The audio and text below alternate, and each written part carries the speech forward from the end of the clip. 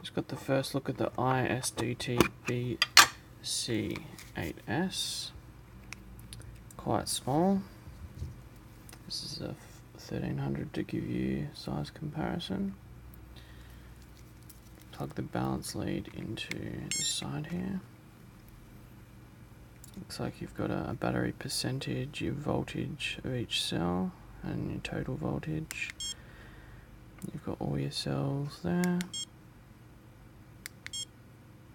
And then if you hold down this one, you've got battery type. And then you can go through to set a low voltage alarm, over voltage alarm, an unbalanced alarm, locating alarms. So I'm not sure how this works, but maybe after a time period it starts going off. One minute reminder, and you can turn the buzzing off when you go through the menu. Um, you can rotate the display, change the brightness and the language.